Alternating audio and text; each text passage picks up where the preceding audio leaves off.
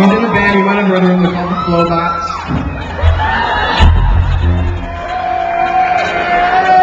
Me, me, are you good? Can you hear? Yeah.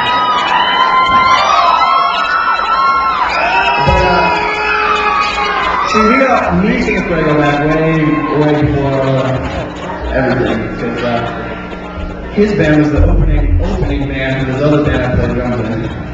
And I met them, I thought, man, these guys are cooler than the guys in that band. So I went and hired them, and been friends ever since. So the Oriental Theater, we had this great idea to uh, to rent out the Oriental Theater, put on a show with a few bands, and then afterwards play a movie. Sounds great, right? Well, we picked a movie called Raising Arizona. The first.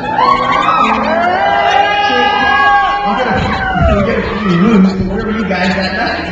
There was like two people in here. And we lost, we lost like 700 bucks. Which at the time was like more than I had. But now we're here, and you guys came to see me, and I brought out your friend from the and I'm sure you guys have seen me before. It's really cool.